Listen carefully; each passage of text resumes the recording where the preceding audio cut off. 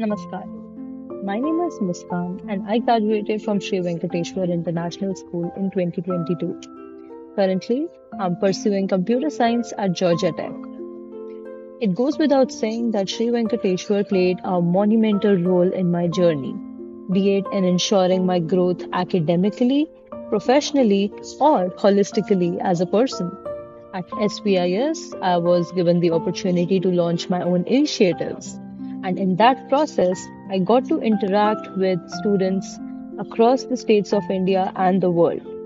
And needless to say, the skills and the lessons learned from that are coming in clutch as I'm pursuing an education abroad.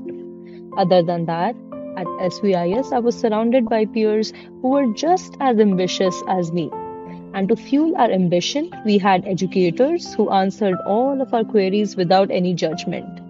And that has gone a long way in helping me keep my curiosity alive. I cherish my time at SVIS. Thank you so much for helping me grow as a person.